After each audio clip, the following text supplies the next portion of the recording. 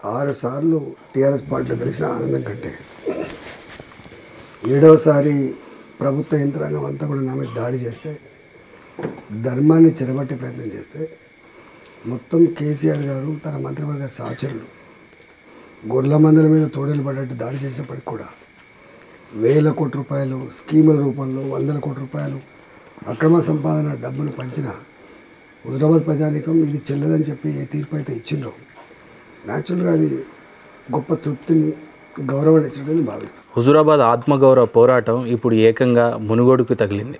So అక్కడ ఏదైతే కంచె వేసుకొని కాపాడుకున్నారో మునుగోడు అదే రకంగా జరగబోతుందని ఆశిస్తున్నారా? ఒక పక్క టీఆర్ఎస్కు ప్రవేశపెట్టిన పథకాలు చాలా బలంగా ఉన్నాయి చెప్పుకోవడానికి.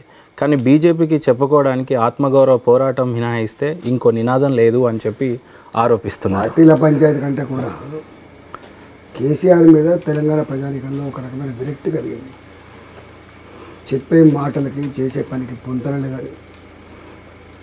అవసరాల పూర్తిగా మాట్లాడేటువంటి వ్యక్తి తప్ప తన అవసరాల కోసం ఏమైనా స్కీములో ఏదైనా రాయితీలు ఇస్తారు తప్ప ప్రజల అవసరాల కోసం ఏడనేది అర్థమైపోయింది.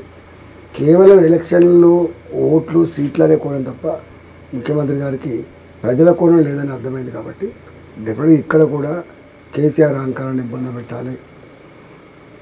తెలంగాణ ప్రజలు కోరుకుంటున్న ఒక మంచి సుపరిపాలన రావాలంటే ఇక్కడ భారతీయ జనతా పార్టీ గెలవాలనే ఫీలింగ్ బ్రహ్మాండంగా ఉంది.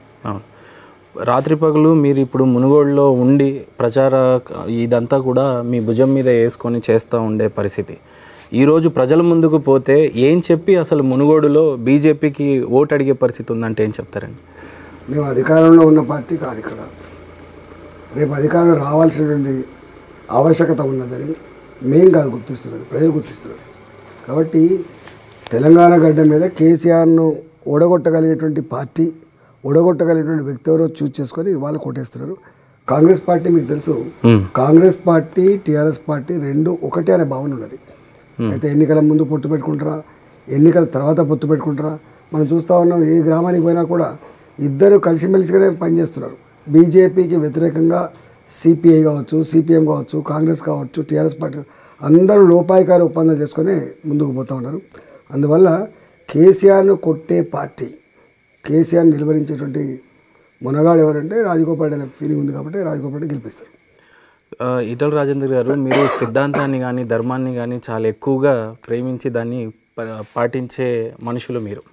అయితే ఈరోజు ఈ ఎలక్షన్స్ అన్నీ కూడా ఒక పక్కన పెట్టేసి మనం ఒక విషయం మాట్లాడాలనుకుంటే రాజగోపాల్ రెడ్డి కోమటిరెడ్డి మధ్యలో రామ్ లక్ష్మణ్ లాంటి బంధం ఉండింది. ఒక పక్క తల్లి లాంటి పార్టీని చూడాలనో ఒక పక్క తమ్ముడిని చూడాలో తెలియని పరిస్థితి. ఈ నేపథ్యాన్ని ఏ రకంగా మీరు యాక్చువల్గా రాజగోపాల్ రెడ్డి గారు ఎట్టయితే ఆలోచన చేస్తున్నాడు కోమటిరెడ్డి వెంకరెడ్డి గారు కూడా అదే ఆలోచన చేయాలి. అంటే కాంగ్రెస్ పార్టీ బతికి బట్ట కట్టలేదని కాంగ్రెస్ పార్టీ పాత కాంగ్రెస్ నాయకుల చేతుల్లో లేదు. కొత్తగా వచ్చిన వాళ్ళ చేతిలో ఉందనేటువంటి భావన ఉంది. మరోవర్ ఆయన ఎవరు కేర్ చేస్తారని పరిస్థితి. అన్నిటికంటే ముఖ్యంగా కాంగ్రెస్ పార్టీ ఢిల్లీలో వెళితే ఇక్కడ వెలిగే ఆస్కారం ఉంటుంది. ఢిల్లీలోనే కనుమరుగుతున్నప్పుడు ఇవాళ ఇక్కడ కొత్త జవసత్వాలు తెచ్చుకొని బతికి బట్ట కడతానే భావన లేదు.